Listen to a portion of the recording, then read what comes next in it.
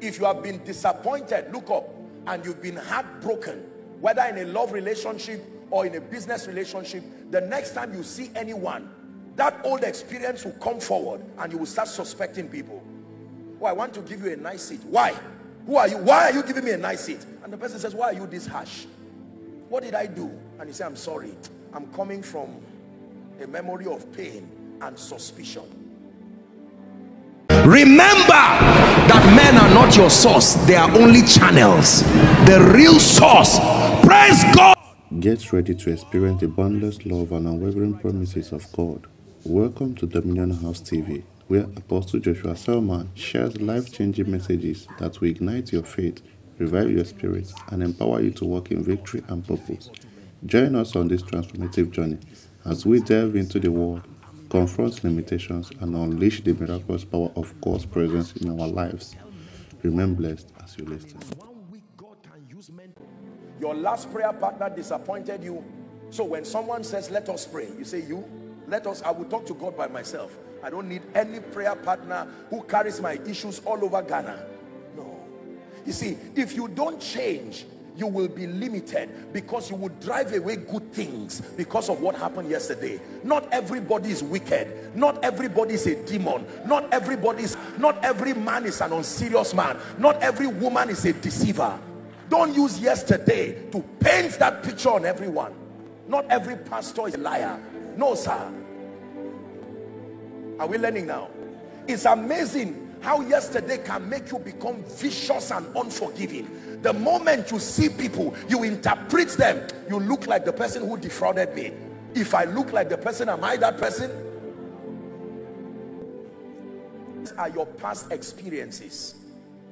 Good or bad past experiences good or bad let me tell you this experiences have such power from your yesterday they can exert influence on your today and even your tomorrow experiences i hope you know that yesterday is very jealous yesterday never allows your day your today and your tomorrow to go in peace it wants to relieve itself again in your today and your tomorrow you must learn how to break away from the limitations of yesterday.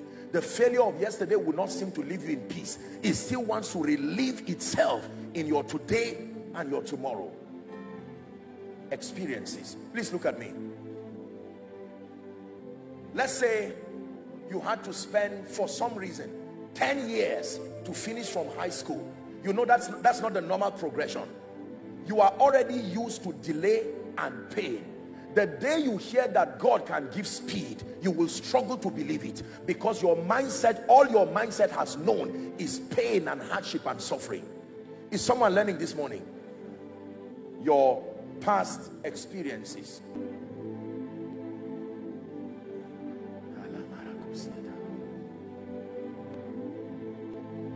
Past experiences. Some of you, you came to church this morning carrying yesterday is the reason why you can't go forward. The luggage you have tied at your, your waist, your hands cannot move you forward. I need you to cut it away. Cut it away. Yesterday needs to go. Apostle, five men have come into my life. They tore my life into pieces. Let me not see any man in front of me. What if the fifth person is Jesus? Just what if, I'm thinking aloud, what if the fifth person is Jesus. Will you drive Jesus because five men destroyed your life? Four men came into my life. I lost my job. What if the fifth person is your destiny helper? Sent by God, anointed by God.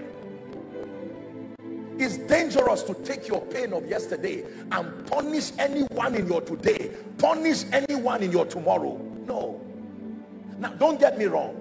The events past can be very painful their memories can be there, but you have to brace up and allow yourself to be healed. For someone, God is bringing you that healing this morning. It's time to move forward. It's time to believe again. It's time to trust again. Past experiences. Thank you, you can follow us on all our social media handles at Flaming Channel. Also visit us at www.flamingchannel.com. Thank you. Hope and victory. May God's presence continue to guide and empower you on your journey. Blessings and peace to you in Jesus' name.